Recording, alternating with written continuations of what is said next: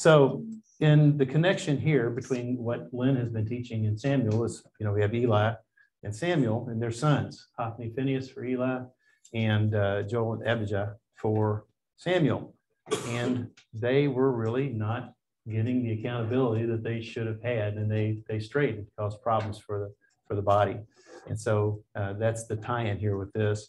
And as some of you may or may not be aware, I was um, involved with the Restoration Discipline Committee here at Southeast for a number of years and um, helped to develop some programs for how to deal with that. So we're going to kind of go through that. So why study this? Uh, these are there's some. Let me move here.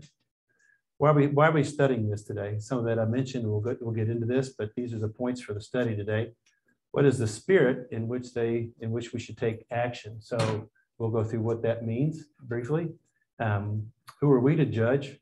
Uh, who has the authority to judge? These are things we always hear. Well, who you to judge me and things like that. So we'll go through that and what the Bible has to say about that. And um, what is the case for excommunication or breaking fellowship? So that's the one thing that the church, the body can do if somebody is unrepentant and not penitent. We can um, we can re reject their fellowship of the church. Uh, so let's we're going to start with a couple of proverbs uh, since we're talking about discipline restoration. Jack, could you go ahead and and read uh, the Proverbs 1 7 and the uh, Proverbs 12 1 for us? Fear of the Lord is the beginning of knowledge. Fools despise wisdom and instruction. Whoever loves discipline loves knowledge, but he who hates reproof is stupid. Okay, I, you know, that's ESV, and I, I had, to, I, I, had, I had to put that in there because I thought that was just too good. You know, you don't ever say the Bible here, the Bible saying somebody's stupid, but, uh, but that was pretty good, pretty good. The stupid reference is uh, Proverbs 12, 1. So uh, into the, and I, please, if you guys have got questions through the process of this, this is not intended to be a lecture at all. Uh, I would love to get feedback and questions from you guys as we go through this. So why are we studying this? Well, part of it's obvious because it's in the Bible.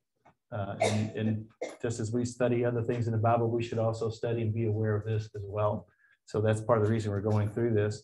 Um, we also need to understand that as we believe other things the Bible has to say, we need to believe this part as well. It should be given just as much credence as the other. So um, in, in, in this particular case, we have a warning here. Jack, would you read First Peter 5, 8 through 9, please?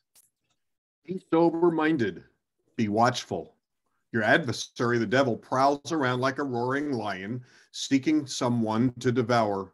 Resist him, firm in your faith, knowing that the same kinds of suffering are being experienced by your brotherhood throughout the world. Okay, if you could read Jude 1 4 as well. For certain people have crept in unnoticed, who long ago were designated for this condemnation, ungodly people who pervert the grace of our God into sensuality and deny our only master and Lord, Jesus Christ. Very good. So you know, this morning Ben was preaching about avoiding sin and stepping away from it, doing these types of things. We need to be under, we need to understand, be aware that the, the devil is after us and he wants to defeat us as much as he can and make us not effective for the worship and for our lives. So we just need to keep that in mind. And we also need to understand in going through this that we do have a biblical responsibility for the discipline restoration process, and we'll continue to go through that. Um, if we don't, uh, not only because like Ben said it's more not only does the individual suffer for for not following, he goes into a path where he's into the death of sin, held of sin, and um, that's not good for him. And it, it, also applies to the church or Sunday school class for a small group if these things are left alone. Um, now we're going to talk a little bit about the spirit for which we take action. Um, it would be the absolute height of arrogance for me to stand here and say, well, this is what I think it doesn't hold a lot of water. So where, where do we go? We're, we're going to go to the Bible first and understand that's the foundation we have through God's word that gives us the spirit in which we should deal with this issue. Because this is not easy stuff. Um, this is, um, it's, it's one of these things that nobody really likes to talk about. The restoration, confronting somebody, something like that. It's, it's not an easy task, but there's, there's an important reason to do that. Um, And again, we need to follow, just follow what the Bible has to say about it, understand that we've got God's strength behind us, following his word. It's not me, it's him. And so that's what we need to know. So uh, Jack, could you read First Corinthians 13, 1, please? If I speak in the tongues of men and of angels, but have not love, I am a noisy gong or a clanging cymbal. Right. I think everybody's familiar with the love chapter in Corinthians. And uh, this is very true. Unless we've got credibility with somebody, it's really impossible. And, you know, you don't want to pull a Will Smith and start slapping somebody around the head and uh, expect them to really pay attention to you. Have some credibility with that. So, um, and uh, Jack, would you read Luke 15 32? This is from the prodigal son.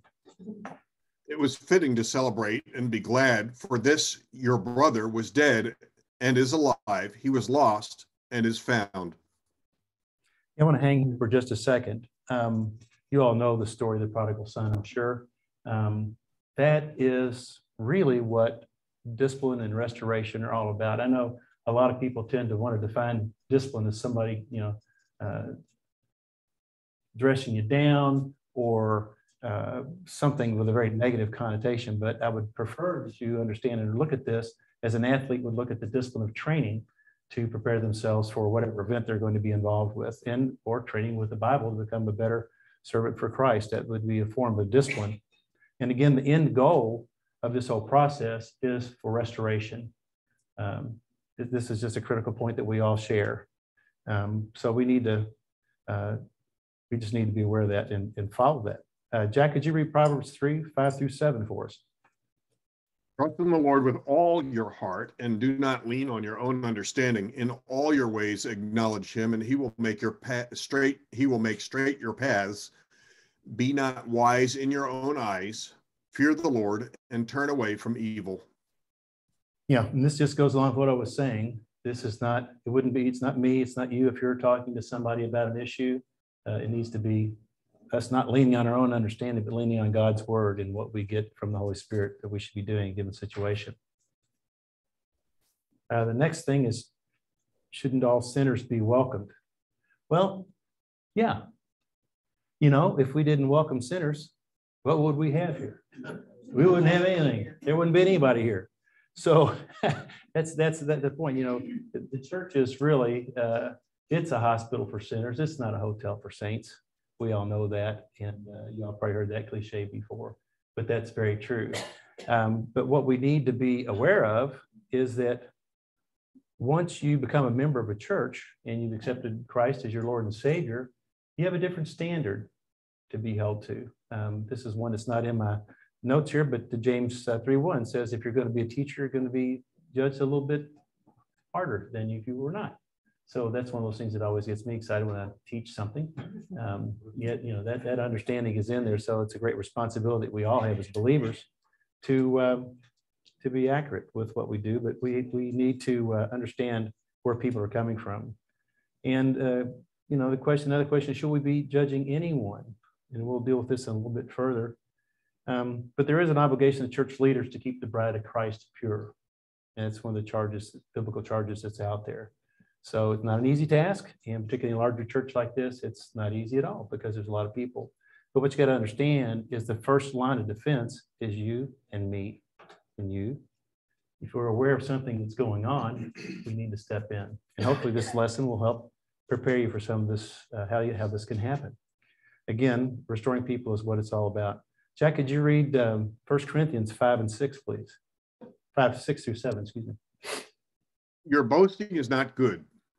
Do you not know that a little leaven leavens the whole lump? Cleanse out the old leaven that you may be a new lump as you really are unleavened. Un- unleavened. Okay. What do y'all think this means?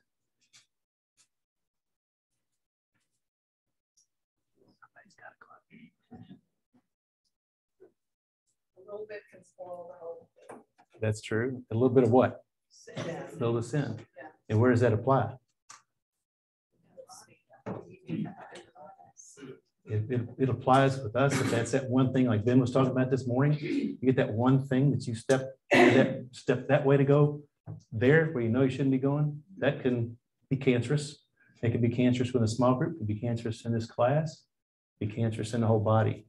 We'll, we'll see a little bit more about this in just a second. Okay, so here's the biggies. We're getting some good stuff. So who are we to judge? Jack, you want to read Matthew 7, 1 through 2? Judge not that you be not judged. For with the judgment you pronounce, you will be judged, and with the measure you use, it will be measured to you. How many of y'all heard that one before? Yeah, and what do you, what do you do with, what do you do with that one? Personally, We have to have a context. Yeah, Right. okay, that's true. Well, again, you go to the Bible, Yeah, you absolutely. let the Bible tell. Yeah, yeah. Absolutely. And um, I think for a lot of people, this keeps people from engaging in that process. Because if you look at this, it's, it sounds pretty strong, and it is pretty strong. So we just need to understand what the context of that is, part. Yeah, I think we should also realize we live in an era, in a world where personal autonomy is everything. Yeah. And we, we believe in moral relativism. So this, you have no right to tell me what's right and wrong, and I have no right to tell you what's right. and wrong. You have your truth and I have my truth. So this is particularly dangerous for people to latch onto that verse and then hit you with moral relativism. It, it, it- you're gonna hit it every time you try to draw a distinction. Absolutely. That, that's, you know, that's, and that's where our culture is today. I mean, it really, um, it's really inhibiting, our culture is inhibiting the church to be the church and for both to be brothers and sisters to each other. I don't think it's possible to not make a judgment just because, you know, you notice that something is either right or wrong, or something is black or white, or whatever, and you're going to make a judgment on that. That's Right. exactly right. Yeah. Maybe how you manage it. um, If, if it causes you to be unkind to someone or to treat them badly, um, that maybe maybe your attitude toward the judgment that you make. I don't know, I don't know, but I know we make judgments, we have to make judgments, we have to be able to discern right from wrong and good from evil, and we're in a battle right now in our country, good versus evil, we have to be able to see that and judge it, so. And act accordingly. Yeah, you're exactly right. The, uh, the Greek word here for judge is krino, K R I N N O. And, um, I think I might have that. in the- It's time for another slide. What's this? Next. This right, okay. Well, this is the sidebar. So anyway, I can- I'm gonna go, I'm gonna go back and forth. There we go. So krino, uh, that's a good, and what it means in context is either to understand what's right and wrong or to condemn. And in this particular case, it doesn't mean condemn, because guess what? And this is a good thing. We can't, we can't condemn. Not for the pure meaning of condemn, which, and that's a, that's a good thing. Um, So it, it's, again, understanding the context. Um, Let me slide down here. So um, Jack, would you read John eight, seven to eleven, please? And as they continued to ask him, that is Jesus, he stood up and said to them, Let him who is without sin among you be the first to throw a stone at her. And once more he bent down and wrote on the ground. But when they heard it, they went away one by one, beginning with the older ones. And Jesus was left alone with the woman standing before him. Jesus stood up and said to her, Woman, where are they? Has no one condemned you? She said, No one, Lord. And Jesus said, Neither do I condemn you. Go, and from now on, sin no more. But not today. He didn't condemn her today. If she doesn't accept, with this particular cases, uh, she doesn't accept Christ as Lord and Savior, that's the end result would be condemnation for her, eternal condemnation. But he, he he's showing mercy. um, uh, And he's, he's teaching the people that were there a lesson as well, to be merciful, because they were going to stone her. They were going to kill her. So um, let's just understanding we have to have mercy involved in this again, the spirit of which we enter into these things. Um, Jack, would you read Matthew seven, four through five, please? Or how can you say to your brother, Let me take the speck out of your eye when there's a log in your own eye? You hypocrite. First take the log out of your own eye, and then you will see clearly to take the speck out of your brother's eye. All right, anybody get a good word picture of that in their mind when you hear that one? I mean, it's always hard to imagine a plank in your eye. Uh, it doesn't sound very comfortable to me, but again, um, this is not what, it- if you, if you understand the purpose of restoration, you understand what's going on here, understand that this shouldn't be something that would deter you from fulfilling the role of helping somebody out. Um, but I think this is another one of those verses. I think all three of these verses are ones that um, tend to make us not want to go down that road. Um, But it's, again, it's just a matter of having a better understanding of what's being said here. Doesn't mean not to. Go ahead, Beck. Well, also you need to consider the parties involved, are they believers or non-believers? Yeah, absolutely. Yeah, It's kind of hard to expect non-believers to act like believers. Well, the you believers still should bring it up. can be that person too. abso- Right, okay. ab- And so are some of us. Well, uh, to be, put this into everyday lives, we have people in our families. Uh, have you approached this? Do you say, I don't condemn you, but go and sin no more? I don't condemn you, but if they keep on sinning, then where is, where does the judgment and the condemnation? come in? Right, right. So tell me. You got Okay, here's a, here's a, here's a great example.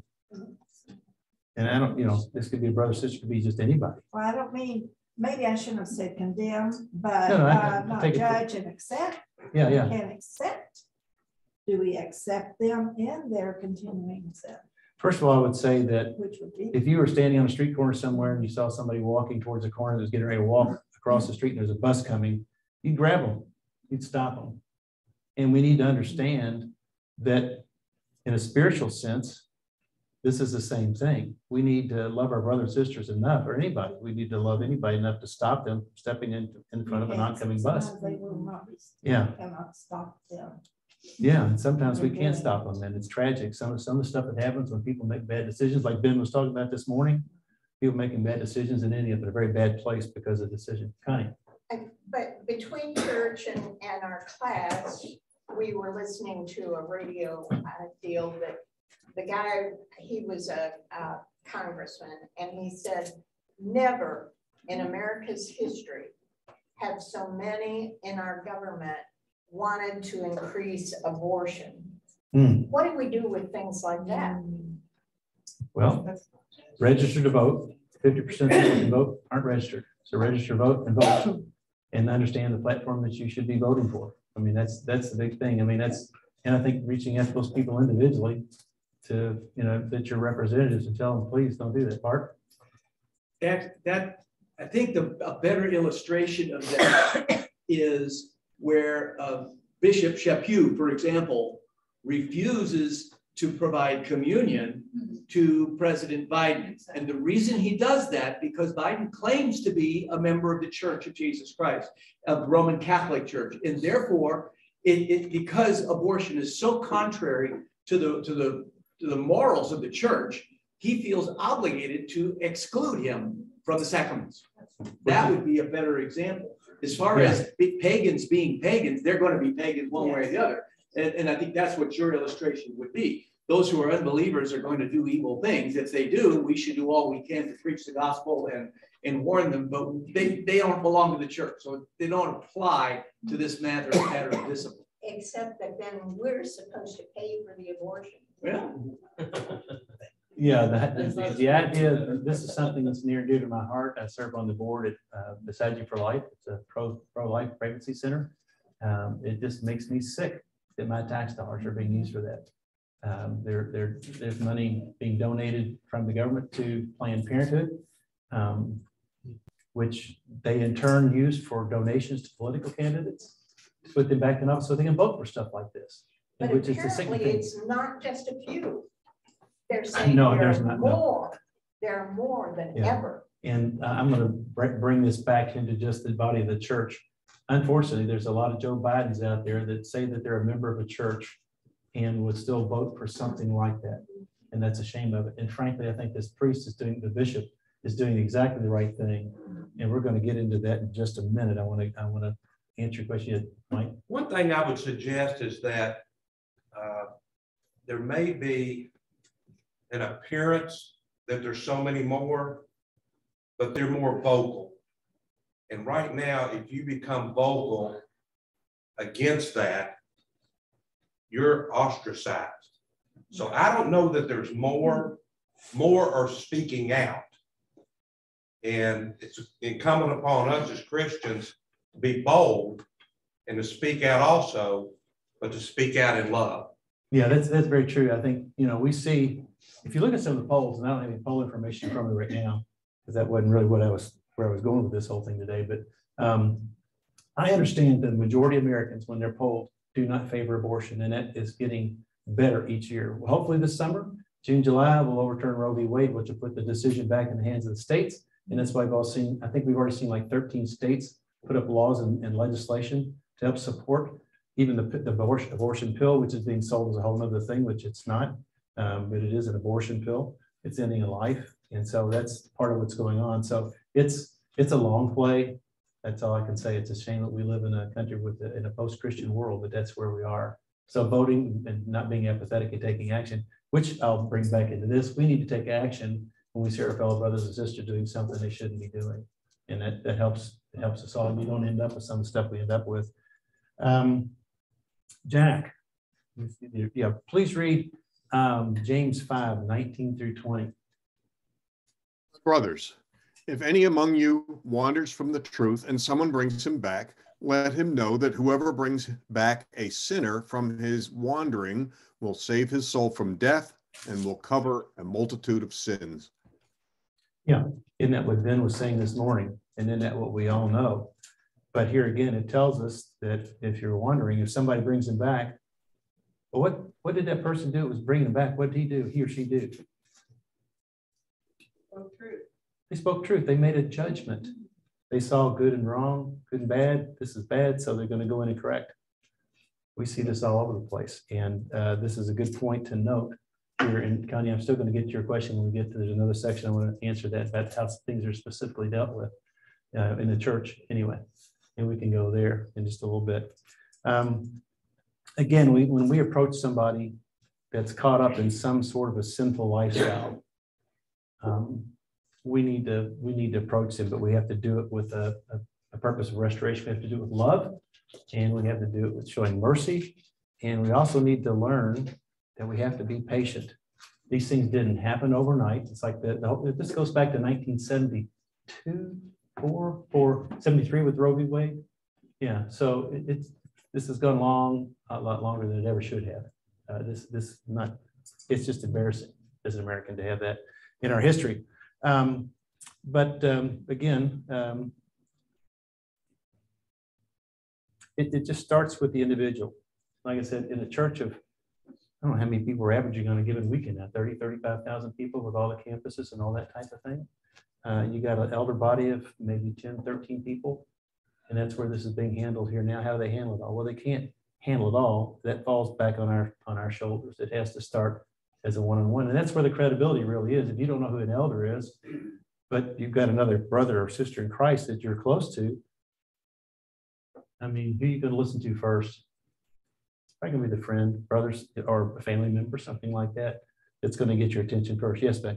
Well, I mean, I know we've all probably done this, but I've had it inside my family and outside my family where I had to go to them and, and speak truth to them in love. Your, your motivation of why you're doing it is very important. You're not doing it to, to destroy someone. You're doing it because you're, you're wanting to restore them. And, um, Yeah, and, you know, fortunately, in the couple of instances I'm thinking of where I've had to go do that, it has, the Lord has blessed, when bless them when they have returned to him. And of course he would. But, uh, it's not easy. no, Your it's not easy. Is out of love and to restore them. Sometimes it works and sometimes it doesn't. And sometimes it's a quick play, sometimes it's a really, really long play. I know there's people in here that are praying, praying for wayward children for a long time. And this is not too dissimilar of an issue. We just have to be, have patience. Um, Jack, could you read Galatians six one for us, please? Brothers, if anyone is caught in any transgression, you who are spiritual should restore him in a spirit of gentleness. Keep watch on yourself, lest you too be tempted. Very good.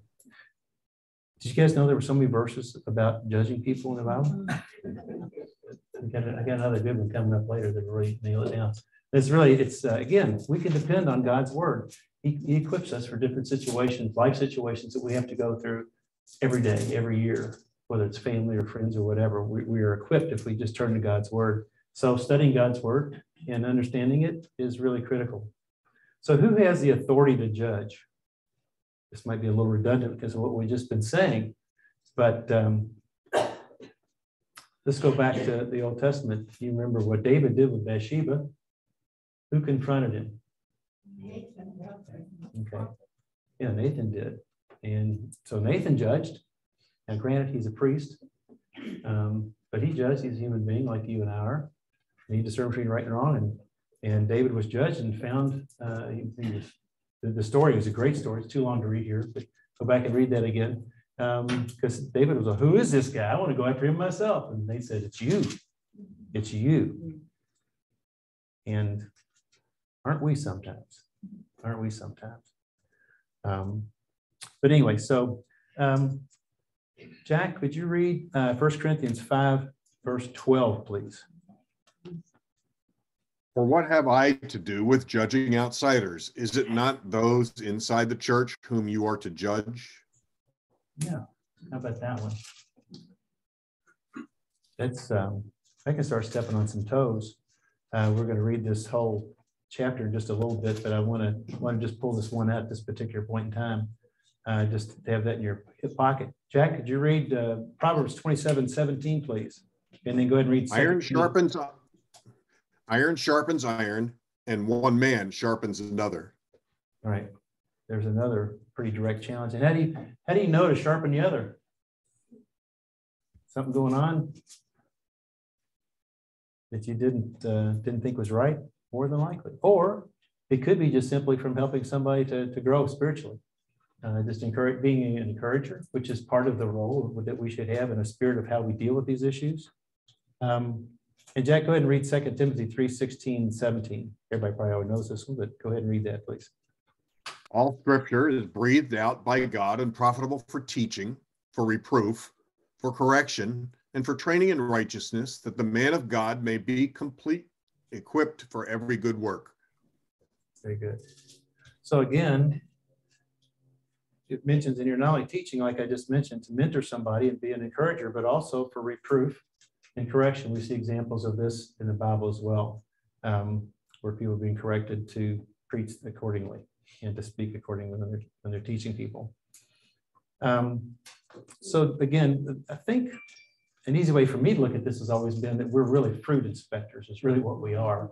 We see people, the fruit of people's lives and, and um, the good and bad. And if it's good, we can certainly encourage them. And, and uh, we should be doing that. Uh, and I think in general, people are, are good about doing that. But the part of, of confronting people with something that's not good is, is, is very challenging. I mean, nobody wants to burn a bridge. Nobody really wants to um, confront somebody with a sin. It's just, that's awkward. It's tough. It's tough. So, but where we should get our strength is from where? From the Holy Spirit, from God, and, and where we get our knowledge in which to deal with these things. That's, that's word. Yeah, exactly. So um, again, I'm, I'm, glad that we don't have the power to send people to heaven or hell. Uh, that's clearly God's plan that we have a certain amount of authority, um, but it's God and Jesus that have the power to judge and condemn. Um, so that, that one slide would just, it's a better protecting the church and we are in our, our personal lives, we need to be protected as well. And this is what we did just Jerry. I think we need to remember when we're speaking God's truth into someone else's life, it's not me. I'm not saying that. I'm not judging. God's word is doing the yeah. judging. Yeah. And, but that's the key. We have to make sure that we're speaking God's word into their lives, not my thoughts. Yeah. My, my judgments. You know, at that point in time, we can just say, here's what I see. Is this true? This. And then here's what God's word says about this. What are you going to do? Now, what do you do? As a believer, what do you do? Um, it's, it really, unfortunately, it just is that simple. It really is that simple. Um, you know, uh, Bart and I talked about this, he was talking about, well, what, what's really the criteria by which we identify sins in um, slide nine, so on now. Um, what is the criteria by which we we judge people? How do we the things that, that really can disrupt the church? It can be divisive in the church and, and hurt the witness of the church. Um, first of all, when you see it, address it. Don't. There's an old there's an old adage that I've always been very graphic and very easy for me to remember. If you got to eat a frog, do it while it's still a tadpole. Don't wait for it to come become a full size bullfrog. You know. So it's a tr- trust me, it's a lot easier to deal with these things when when they're fresh and when they're just getting started. Because what happens if people are after each other? It tends to be just the two people bumping heads uh, whatever that issue might be. But then it kind of gets family members and friends. Everybody starts choosing sides, and it grows and it grows like leaven. It gets cancerous, and it can be very disruptive to the whole body, not just the individuals alone, but the whole body. Yeah, Bobby. Well, it's, it, I remember uh, when that I can't remember the fellow's name, Louisville killed his wife, and he was going through all the court situation, but he was a member of Southeast Christian Church.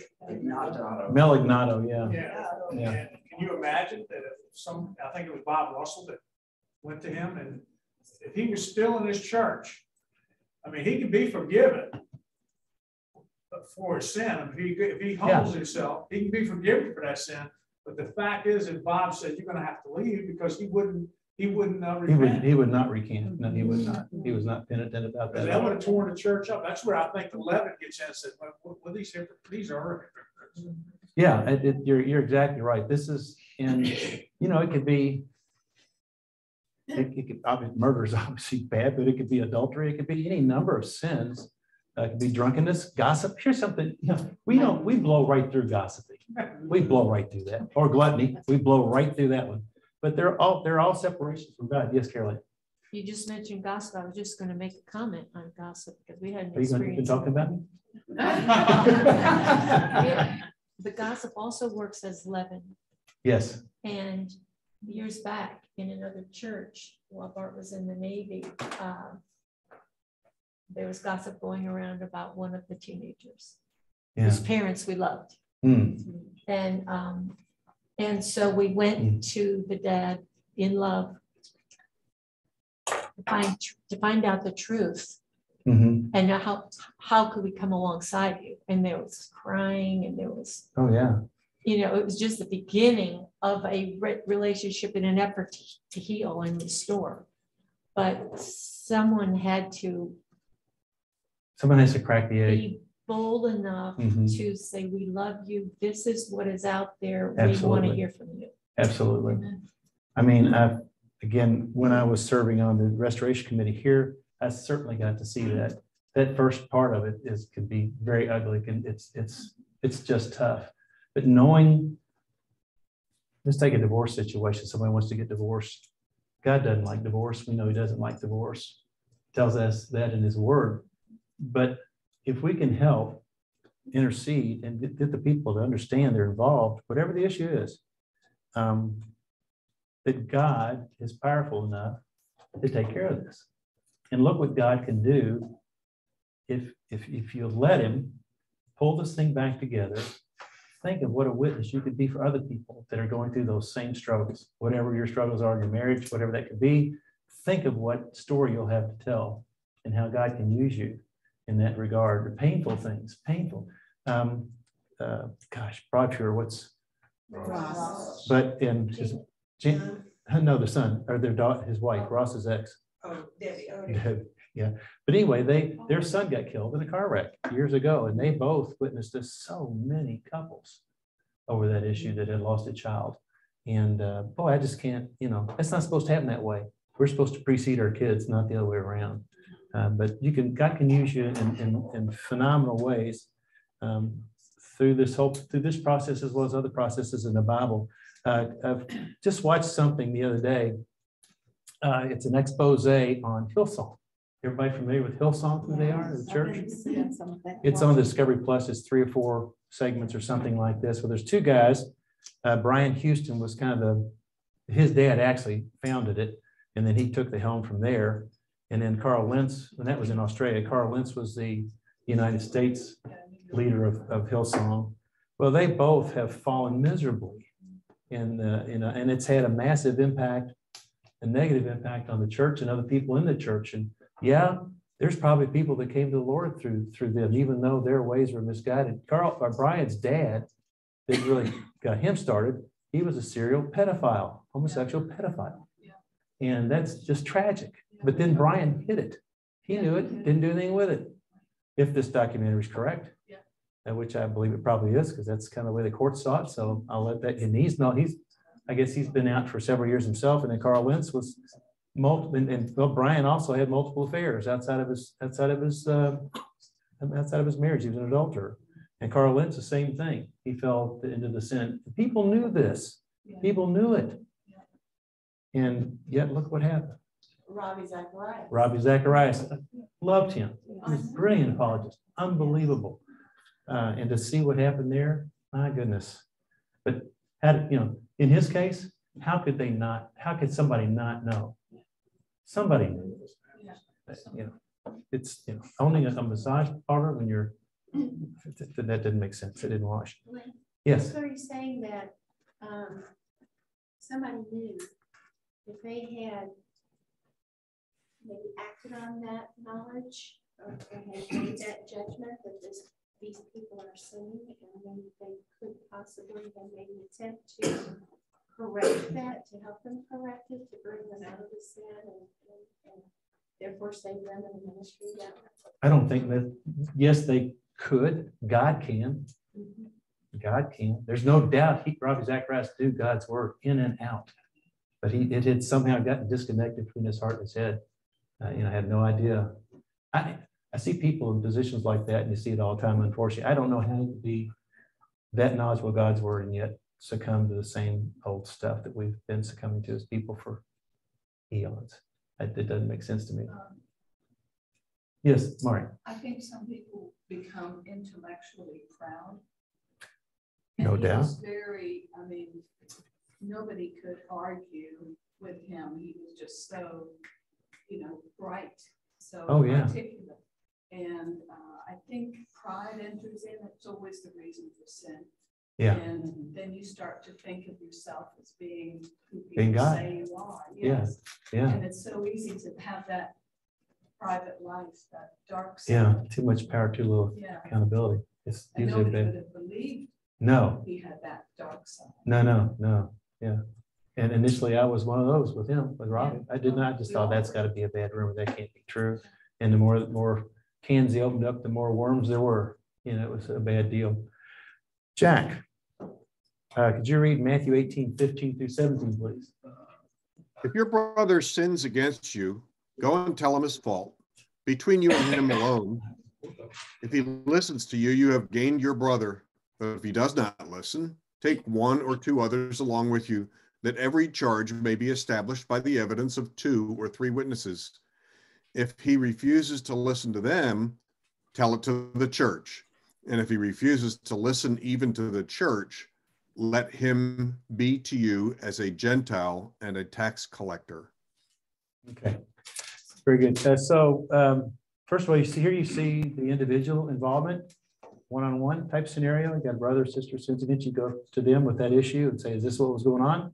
And you try to deal with it there, it continues on, and you take a witness or two with you. So again, more, more first level. The third thing here is to take it to the church. Well, that means taking it to the church leaders. And then the leaders would meet and work with that particular person or party that's involved in whatever's going on here. And then they would, they would try to, you know, mediate this issue between two people or whatever the issue is, or to get the person in a right path. And if they can't, then it's basically saying, well, what do y'all think it means when it says that if he refuses to listen to even the church, let him be to you as a Gentile and a tax collector? What does that mean? What, what is, you want, you want to try to define Gentile and tax collector here in this context? Yeah, they, they they certainly weren't loving people, loving people from the Jewish perspective. No, they were not, were they? Very much outsiders and. uh, Yeah, yeah. Segregated from Yeah. absolutely. they were even called dogs. Yeah. Gentiles were called dogs. Oh, yeah, they were, yeah. Yeah. Yeah, definitely the bottom end of the uh, spectrum. bottom feeders. Um, yeah, so that's what's going on here. So with this, we're, we're kind of getting into um, where the church comes to play here and how that, what this process looks like. So, so they've turned it over to the church leadership, and um, and so this is where it's going to be dealt with next because it hadn't gotten resolved on an individual level. So, do y'all recognize this uh, this picture? Thanks to Bart for helping me put these slides together, by the way. Martin Luther's trial? Yeah, yeah, this is his trial. What was he being, what was he being tried for? What was his problem? He's right against some of the core beliefs of the church. Heretic, of right? He's a heretic. Yeah, yeah. So that's what's going on there. His Do you- indulgences, I Yeah. think, he was going against the church. Tetzel, yeah, Tetzel was out selling indulgences to, you know, for, for just to basically, basically rip people off. And so he didn't like that, but he also saw several other things that he didn't agree with, that, you know, um, oh God, I'm gonna, I'm gonna forget this.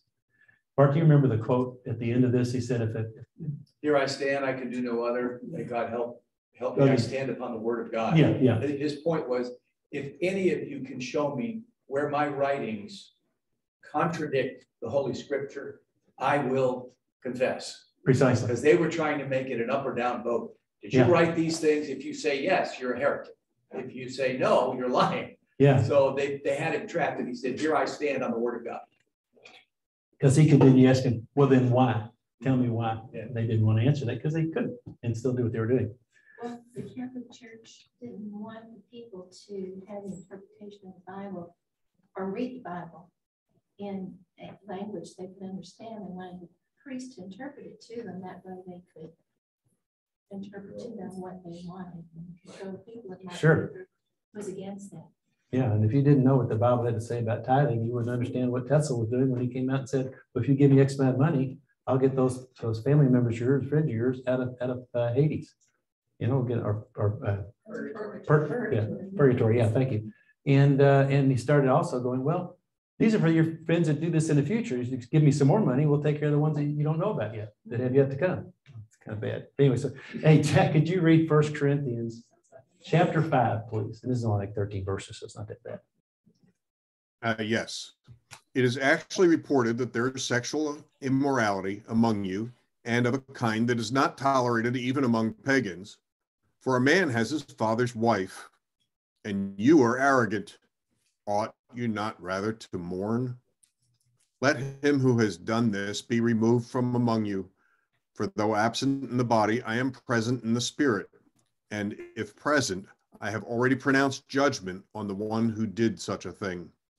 When you are assembled in the name of the Lord Jesus, and my spirit is present with the power of our Lord Jesus, you are to deliver this man to Satan for the destruction of the flesh, so that his spirit may be saved in the day of the Lord. Your boasting is not good. Do you not know that a little leaven leavens the whole lump? Cleanse out the old leaven that you may be a new lump as you really are unleavened. For Christ, our Passover lamb, has been sacrificed. Let us therefore celebrate the festival not with the old leaven, the leaven of malice and evil, but with the unleavened bread of sincerity and truth. I wrote to you in my letter not to associate with sexually immoral people, not at all meaning the sexually immoral of this world, or the greedy and swindlers, or idolaters, since then you would need to go out of the world. But now I am writing to you not to associate with anyone who bears the name of brother if he is guilty of sexual immorality or greed, or is an idolater, reveler, drunkard, or swindler, not even to eat with such a one. For what have I to do with judging outsiders? Is it not those inside the church whom you are to judge? God judges those outside. Purge the evil person from among you. Yeah, wow, that's a mouthful, isn't it? So, Connie, there's your, there's your case. There's a good case study that, that Paul gives us in his writing to the, to the Corinthians here. Um, yeah, let's, let's unpack this just a little bit. I mean, there was a lot there. Um, again, I mentioned earlier that once you're, once you're a believer, you have a little higher standard to, to work with. So that's what we're, we're dealing with here. And as you see, there's a differentiation between inside the church, a believer, and outside, and who's to judge and who's to handle with that. to deal with that. So, so what, what, what happened here first? What happened to get this ball rolling? Besides the guy sleeping with his father's wife, let's just skip over that one. Um, um, but what did Paul say? I hear that this is what's happening. So how did Paul hear? Somebody approached Paul, right? Somehow wrote him a letter. Well, yeah, because Paul wasn't physically there, they wrote it. I'm assuming that's how it got to him or somehow.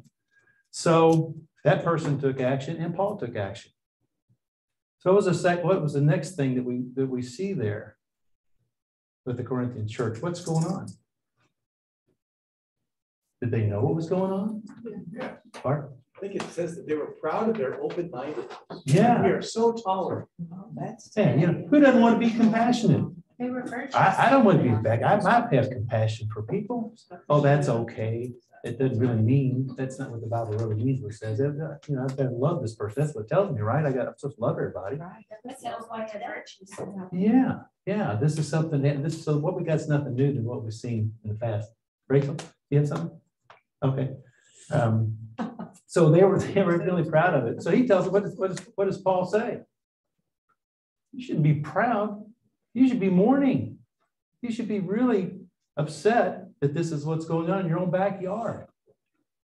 And so then what, so what Paul, what's Paul do next? I kind of, I kind of get tickled with this. What, what did Paul say next? Kick them out. He's out of here. I don't even have to come to town for this one. I can see what's going on here. He's out of here. This guy's just such a train wreck. This, he's out of here. So he charged him to remove him from the group. What would that symbolize? Well, yeah, there's that. But I mean, what we just learned about. It's leaven. It's the bad apples spoiling the barrel. That's what's going on here. So for the sake of when, when does the church get engaged and what's going on here? This is where the church gets engaged. It's to save the body. Because you tolerate these things, you'll tolerate the next thing, and you enter back into a Romans 1 experience where you tolerate this, then you'll tolerate that. And then you start inventing ways to be perverse, is what we see in that. So Paul says, don't even associate with this guy. Don't eat lunch with him. Don't play golf with him. You don't hang out. Just what's so what do y'all think the purpose of that is? Why, why are we casting the person out? Why are we ignoring that person? What's what's the purpose? So that he can feel the, um, it don't make him worry, he feels the loss and wants to change what he's doing in order to be resuscitated. Exactly, exactly. Because all, you know, at that point in time, when we get to that point in this process, that's really the only card we have left. That's, you know, the biblical, I guess, who, Well, is this talking strictly to church leaders? Is it strict, is it talking to the body? Yes. Yes. I mean, give, you know, given the situation, given the situation, and in each, each of these situations, they all have their own reasons, they all have their own timeframe. Uh, that people either got into the problem or get, or can get out of it. Uh, it's, it's, yeah, it, it, but it's, it applies to both the leaders as well. In this particular case, this is more towards the body, because he mentions leaven in this, in this chapter, you know, casting them out. So this is more of a protection for the body. Judge those inside. You judge inside, I'll take care of those on the outside. So this is, this is really where church leadership needs to step up and follow what's going on here. And, you know, I don't know, how many, just somewhat rhetorically, but if you get raised hand if you want to, that's fine. How many people have really studied First Corinthians five before? Yeah. A couple? She lives with me, so she doesn't have a choice because that's. Just a few. Yeah, this is one of those ones we don't hear a lot about, just because it's just kind of some tough territory here. So, um, let's see here. And I think it would be good to in to occasionally hear it in context of the preaching of the church so that members of the church will know this is what you can expect. Yeah, this is, this is one of those things that I fought for uh, here was that not only does it deal with the person as we're being told here to give that person that absence of the body, to let them understand um, you're, you're missing, you're making a mistake here. It- There's some cost to that. You're, you're going to miss fellowship with these people. The other thing that I think it does, two things. First of all, I think it tells the rest of the people in church, hey, these guys believe what they preach. They believe what the Bible says and they're standing up for it. And the, the, the third thing I think that it does it tells that, it, it tells the person is thinking about, like Ben said, I want to go here. Huh, Wait a minute, if I got to go through that, I don't think so. It, it can be a deterrent. It can be a big deterrent. Who wants, I mean, who wants to go through that process to that extent? Uh, and, and technically, uh, what this is saying when it says go to the church, this means, and I, I talked to churches all over the country when I was on the board here about this issue. The only church which has now changed some, it's uh, Saddleback. They're the only ones that were really doing it like this says, and they they took it to the church. John's not following what the elder, he went through this process. Um, John's not doing what we ask him to do, and therefore John is no longer a member of the, of the church. He's been cast out, and you should not have dinner with him, supper, play golf. You know, you just this guy needs to go through this process because he's not he's not done what he should do. And that was done. You know, I talked to Piper's Church. I talked to Church, Adrian Rogers Church down in Memphis, uh, Bellevue, is that what it is? Bellevue? Other churches. Um, yeah, Brooklyn Tabernacle, other churches. Um, it's amazing. Everybody, well, yeah, we know we need to do it. We're not doing it. So that was made me more convicted about what we were doing here than I already was. And so we started down that path. Um, yeah, we're good. This is good. So here's Hey, Glen, can I ask a quick question? Yes, Jack. Uh, from your own experience on the restoration committee, um, uh, having been through the process many times, what, how would you, uh, um, categorize the results? Were, did you find mostly repentant hearts immediately? Did you find repentant hearts over time? Did you find that you were asking a lot of people to leave the church? That's a great question and glad to answer that. Um, that was not part of what I had sit- written down here, but that's a good one. I would say, uh, what I saw God do was ninety-eight percent effective. Hmm. It wasn't me. I Only had, of all the things I had, I only had one guy that, uh, did not want to go along with the deal. He'd been married for eighteen years, three kids, shows up here at church with his girlfriend on his arm and runs into his family in the narthex. That's all I'm gonna tell. It's a good story. But he was the only one. I mean, it, it, you know, I talked with him for weeks. And, um, you know, it just, it, it just never bore fruit. He said, well, you got, you know, I said, well, we're gonna have to let you go. He said, well, you do what you gotta do. I don't care. So he was not, he, he could have cared less. And That's tragic. I mean, I really wish, um, maybe I didn't have the right words to say at the right time with him. I don't know. But I really wish that, um, that that could have been resolved. Other than that, uh, Jack, um, yeah, we got, we got things resolved. Um, people gave God a chance. Best thing I can say to, to address that issue. Yeah, yeah. Um, Thank you. you're quite welcome. So, uh, here's some takeaways for you guys. Um, we now know, and you can dig further because there's not, there's, this is not uh, extensive. Uh, these verses that we've shared today, there's many, many more things. Uh, but we know that there's a biblical way of handling conflict or sin uh, in the body and in individuals. We know there's a, there's a way to handle this and be on firm ground.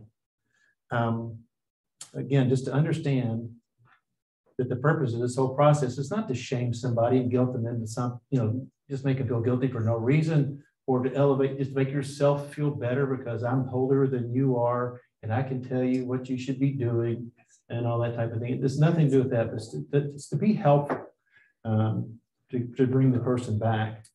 Like I said in James, it's you're, you're, you're, and like Ben said, you're saving somebody from making a, a bad mistake or recovering from a bad, a bad mistake in a good way. Um, understand that our judgment when we're making these things should be balanced in truth and love. The old adage is, you know, truth without love is brutality, and love without truth is mush. And that there's there's a whole lot of truth to that. So we, but we need to keep those, we need to keep that balance in mind. And um, then we need to understand it, we do have a responsibility, and we should take this seriously. And it involves studying the Bible, being more aware of what the Bible has to say about things. Again, what I would normally do is I would say, "This is what I've heard to a person. Is this true?" And they unbelievably quickly would say, "Yeah, that's what's going on." Well, here's what the Bible says about that. Now, what do we do? And I'd let them answer the question. I just read a verse and show the Bible and encourage them, of course, along the way to do that. So we, we need to be an, an advocate for our faith. Um, I think too many of us look at, at our world as, as a playground. We can just go out and, and have our own meaning to life and do what we're going to do and all this kind of stuff. Um, but I think it's more important for us to look at this for what it is. It's a spiritual battlefield, it's a spiritual battleground. And we need to understand, not that we always dwell in a negative world of, of, you know, of something like that, but we need to be aware that, that that's out there, that this stuff is real, that Satan is real. His, like Ben said, his, he's there. He's, he's like a roaring lion waiting to pounce and devour, steal, kill, and destroy. I mean, we need to understand that that is really true. Um, and so that's the, that's the spiritual battle that we're fighting. And I think lastly, just to wrap up, this is about loving your brother and sister. Um, It's about compassion. And um, yeah, it's um, something, you know, it, it would, um, I, I know that people, I don't know personally, thank God, people that have children that have what have, have struggled and, and with their faith and have, have wandered away, it's painful. And to to see something like that and understand that there was a better way that these people could go is a heavy burden to carry. Sorry for the emotion, but it is. It is.